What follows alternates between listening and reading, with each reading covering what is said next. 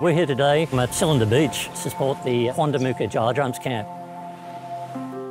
The Quandamooka Camp is really important to Port of Brisbane. It is a way for our employees to learn about this rich Indigenous heritage, but also supporting the young people at Dunwich and the community.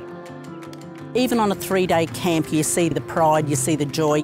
It's very empowering to watch these students grow.